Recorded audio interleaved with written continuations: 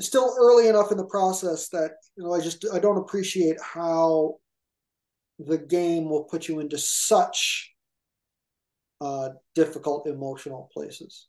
It does. And that's the key thing. It that is the separator. Because again, I told you there are people that are intellectually smart enough to play this game. Like they can do well technically. The tough part is this game can be an emotional slog where you're just like long stretches of a lot of bad stuff happening.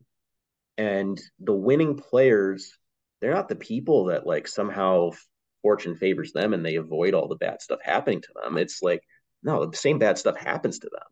But they're rooted in their bodies, they are fully present. They continue to make clean decisions unaffected by tilt. They take breaks when they need to.